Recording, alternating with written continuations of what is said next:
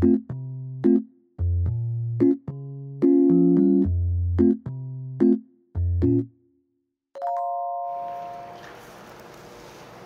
I have your passport and arrival document, please? Yes, here they are. Okay. Your name? Uh, my name is Sheng Li. Why did you come to KAIST? I'm gonna work as a professor at KAIST in the Chemical and Biomolecular Engineering department. Do you have some experience in teaching students before coming to KAIST? Yeah, I uh, worked at a university and I taught both undergraduate and then graduate students before. You said communication with students is important. What do you mean? Everything is based on communication. If I'm teaching students, then I need to make sure the student understand what I want to offer them and what I want to teach them and then what I expect from them. But at the same time, I also need to understand what the student want to learn from me and then what they want to get from their experience, whether it's learning or doing research. So that's why I meant communication is very important. So do you think you're doing well with it? One of the things with teaching university student is you have new students coming every year and then every generation have their different perspectives. So in a way you have have to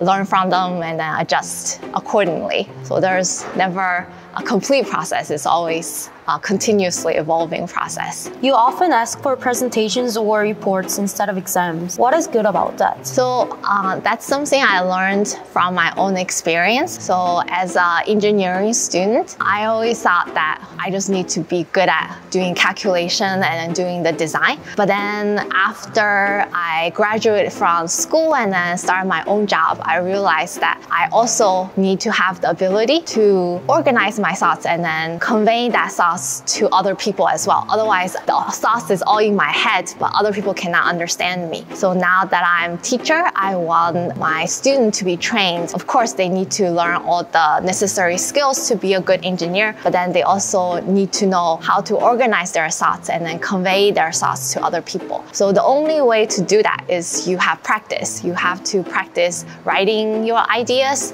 You have to have practice presenting your ideas through oral presentation. That's why it's very important to me for my classes. They have experience writing reports and then doing uh, oral presentations. Are there any disadvantages to not having an exam? Every school semester is limited. You only have 16 weeks. If it's an introductory level class where you are trying to learn a lot of basic knowledges, I do think exam might be more effective because you're just trying to check if you get the basic ideas. But if you go on to junior or senior level classes or even graduate students, sometimes exam become not as important. More important to understand the concept of something and then also extend it to other things and then organize your own thoughts and then prepare your new ideas. So in those cases, I don't think you lose anything by having less exam and replace them with presentations, for example. How's undergraduates and graduate students differ in terms of teaching? They are very different. Undergraduate education to me, you're supposed to cover many different things. So you are still learning many different concepts. You're not going into depths a lot. Once you become a graduate student, you have a particular field you want to go more in depth. So the teaching becomes about depth. So we can focus on one very specific subject and then we go very deep in terms of quantitative understanding, qualitative understanding, everything. Education style for the two are very different. You said professors and grad students are more personal than boss and employee but more professional than mentor and mentee. How about mom and child relationship? Mother and child relationship? Yeah, between professors and grad students. That's very, very different. I actually tell my graduate students, please do not think of them as their parents because uh, graduate student and professor, after all, is a professional relationship. This is just my personal opinion, but I think certain level of boundary is very important. Parent-child relationship to me is very personal. You get support from your parents in terms of very emotional things, and then you can hide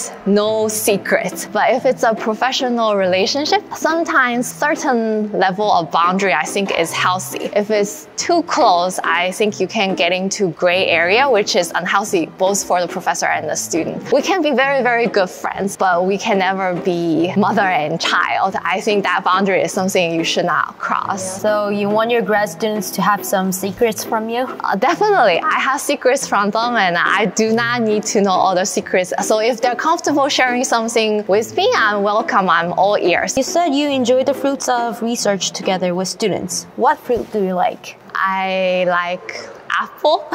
How do you share the fruits? By incentives? This is the real question. We do have incentives. I think students like that too. Yeah. To me, the most enjoyable is maybe seeing the intangible. So it's not so much about the money or the like award or getting anything. So when something is actually resolved, it's published or put together. That's one of the things I feel like you have to be a researcher in order to understand how much joy that brings you. So if you work on a subject, you prepare them into a manuscript. You go through the review process, you get it published. Usually it takes months and then to finally get it done. So when it's done, it's like your baby and then you see it together. And then that is joy that you can't really quantify with money. I'm not saying money is not important. I enjoy having resources too, but that's a different aspect, which is equally important. You do get that from academic research which you are hard to get from other things. You are really a scientist. I think so. I didn't think I was before, but after graduate school, I think I really uh, enjoy doing this. Please put your thumb over there. Um, I don't see any records. Do you really have no mistakes before? Uh, maybe not. I don't think I consider that I made any mistakes. Mistakes means something that I regret and I wish I can undo. For me, there are things that didn't pan out as well as I hoped for, but then I don't really consider them mistake. They're just life lessons that I learned. I am happy I went through them and then I definitely benefited from those things. For last, do you have anything to declare for students? Students? I declare that I will continue to foster interest in chemical and biomolecular engineering in both undergraduate and graduate students. They don't need to become professor like me, but then I do hope if they choose to study in that major or pursue that route, I hope that they can learn from the things I teach, learn from the researches I do, and from that experience, find out what they want to do in their life with passion and with interest. Okay, you can go. Have a good time at KAIST. Thank you very much. I'll say like actually I like strawberries. The real fruits. The real fruits. Yeah, like strawberries, okay. bananas. That's apples. also a joke. Yeah, okay. That was actually a joke. All right, I believe yeah. you. Yeah.